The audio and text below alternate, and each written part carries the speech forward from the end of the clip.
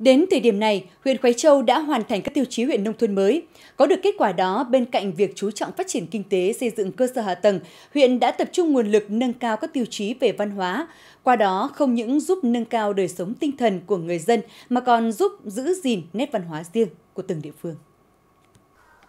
Nếu như trước đây, mọi cuộc họp, công việc của thôn Lôi Cầu, xã Việt Hòa đều phải sinh hoạt tại đình làng đã cũ, chật trội, thì từ năm 2017 đến nay, nhà văn hóa mới khang trang đã được xây dựng trong sự vui mừng, phấn khởi của người dân. Với nguồn vốn hơn 1 tỷ đồng từ ngân sách, nhân dân trong thôn chung tay ủng hộ gần 200 triệu đồng để hoàn thiện các hạng mục sân vườn, cây xanh, nhà thể thao. Toàn bộ cái hệ thống chính trị, nhân dân và các đoàn thể chính trị sinh hoạt tới nơi tập trung rất khang trang.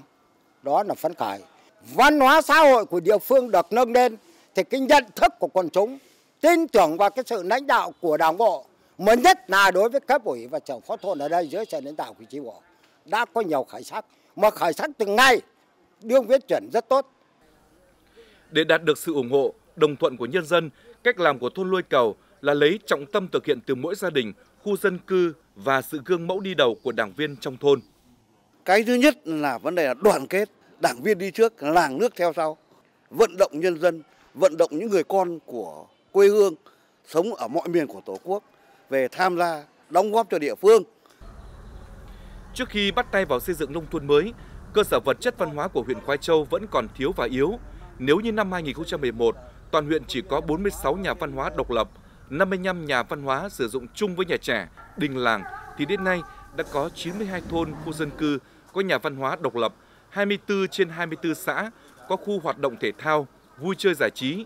Kinh phí hoạt động từ năm 2017 đến nay đạt 110 tỷ đồng. Một số địa phương làm tốt công tác xã hội hóa, hoàn thiện các cơ sở vật chất văn hóa như Tân Dân, Đồng Tiến, Thuần Hưng, Đông Ninh. Từ đây, đời sống của người dân được nâng cao đáng kể. Hoạt động văn hóa văn nghệ thể dục thể thao thu hút đông đảo các tầng lớp nhân dân tham gia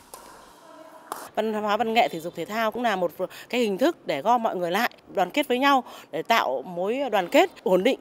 Ờ, công tác ờ, an ninh chính trị của địa phương ờ, và đồng thời cũng góp phần để cho mỗi nhà, mỗi một gia đình là một gia đình hạnh phúc. Thông qua việc hoàn thiện hệ thống cơ sở vật chất văn hóa, ý thức cộng đồng, tinh thần đoàn kết của từng gia đình, từng thôn xóm, khu dân cư ở Quai Châu không ngừng được khơi dậy và vun đắp, qua đó góp phần chung tay xây dựng nếp sống văn minh ở nơi đây.